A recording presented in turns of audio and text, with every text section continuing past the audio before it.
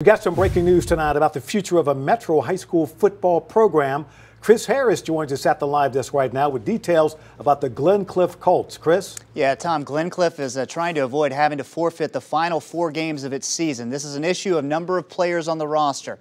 Earlier tonight, I talked with head football coach Mike Passon. He tells News 4 that the Colts began the season with 47 players.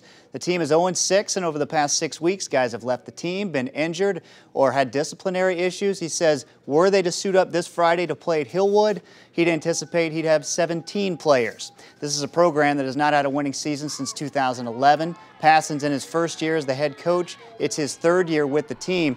And even, you know, last season, I remember when we were there, when Titans tackled Jack Conklin, even donated jerseys to that program. So Passon tells me that Glencliff principal Clint Wilson tonight contacted the TSSAA and the Metro Nashville Athletics uh, to try to figure out the best course of action going forward. Passon added that he expects to have a meeting with Wilson tomorrow at 7 a.m. to try to come to a resolution if one is not reached before then. As of right now, as Passon says, this situation is in flux.